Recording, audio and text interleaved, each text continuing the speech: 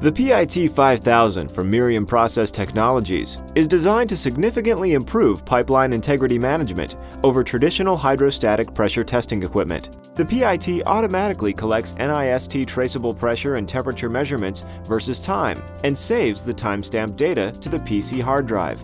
The system guarantees consistency of data from test to test and project to project. It also eliminates transcription errors, prevents data manipulation during testing, and produces an electronically secure final report.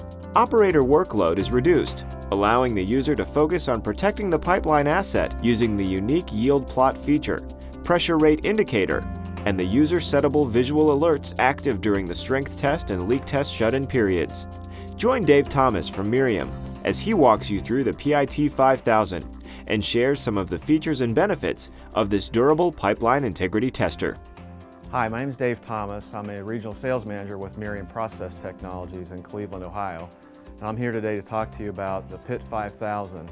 PIT is short for Pipeline Integrity Tester, and this is a device that we've come up with to replace deadweight testers, chart recorders, stopwatches, and calculators in the field. The PIT 5000 features our MFT uh, multifunction calibrator with modules in it to measure pressure up to 3,300 psi and two different RTD temperature measurements, one for your pipeline temperature and one for ambient temperature. Those three measurements are what's critical to pipeline integrity testing in a hydrostatic pressure test. We also use a PC with custom software to collect the data, display the data, and chart the data, and also record the final test so that you have a record of the hydrostatic pressure test that you've, you've done. Software is organized um, into different tab structures, and the first tab, for example, is called Setup. Of course, that's for setting up your test.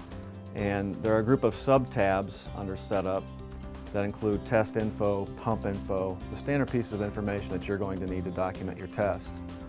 Under test information, for example, it includes a place for the company name, who completed the test, uh, dates, uh, where, what the test media is, things like that.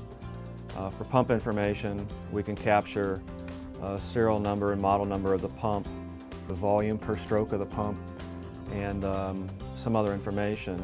If you're using a stroke counter, and we also include a a dummy light here for troubleshooting the circuit out to the counter. Other information that's critical is site information, your elevations, um, your test pressure, that sort of thing. So the test limits page becomes important. Here you can set up the duration of the test.